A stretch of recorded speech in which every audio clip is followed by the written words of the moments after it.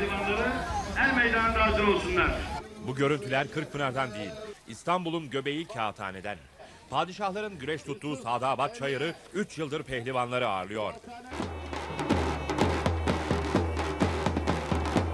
Şenliğin davulcusu ve cazgırları Kırkpınar'ın ünlüleri.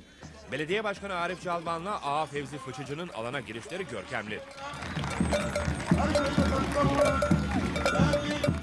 Geleceğin pehlivanları önce yağlanıp ardından çayıra atıyorlar kendilerini. Her metrede kıran kırana mücadele yaşanıyor.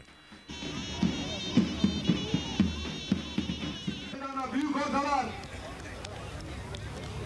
Bazen ilginç kazalar da oluyor. Utangaç rakibin sonuysa belli.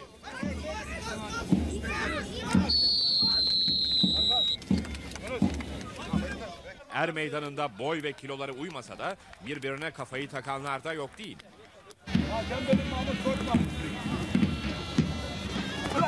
Ulan burası da koça baktı.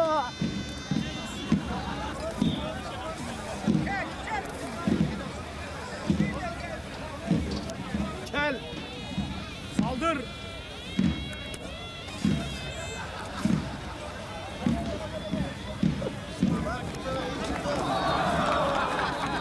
Çak ya bu geldi.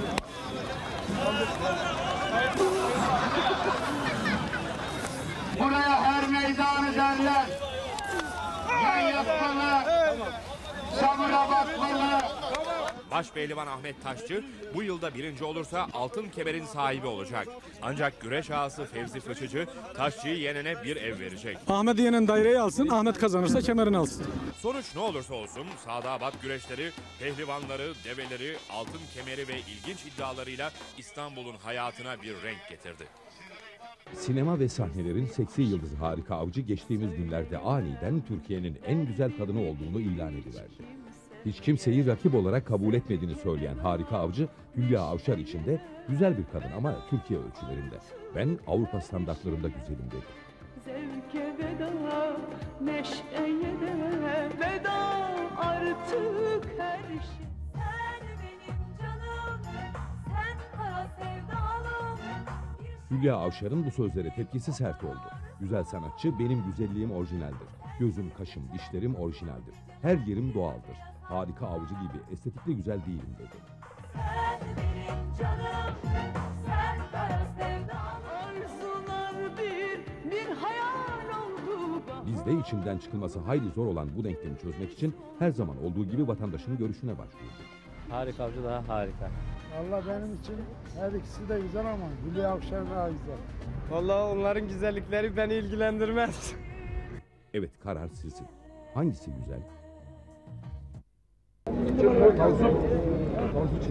Tansu yeşil çimlere çıktığı zaman sarı yeleleri heybetli görünümüyle görenleri heyecanlandırıyor. Kansu, kurdun mu hükümeti? Heybetiyle diğer atların yüreğine korku salan Tansu, iş yarışmaya gelince nal toplamaktan öteye gidemiyor. Tansu şimdiye kadar çıktığı bütün yarışlarda sonunculuğu kimselere tutturmuyor. Pazar günü yapılan yarışta da sonuç değişmedi. 13 rakibiyle mücadele eden Tansu, jokeyinin bütün çabalarına rağmen tek bir rakibini bile geçemedi. Yine sonuncu olan Arap saftanı Tansu, kendisine güvenenleri bir kez daha hayal kırıklığına uğrattı. Tam 5 trilyon 100 milyar lira.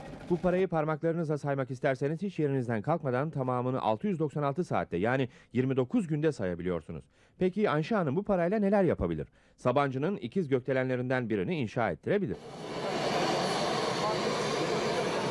DYP'li Ali Osman Sönmez'in Çillerin kullanımına tahsis ettiği özel uçaktan 8 tane alıp dev bir uçak filosunun patroniçesi olabilir. Fabrikalardan 0 kilometre 5000 otomobil alarak İstanbul trafiğini felce uğratabilir.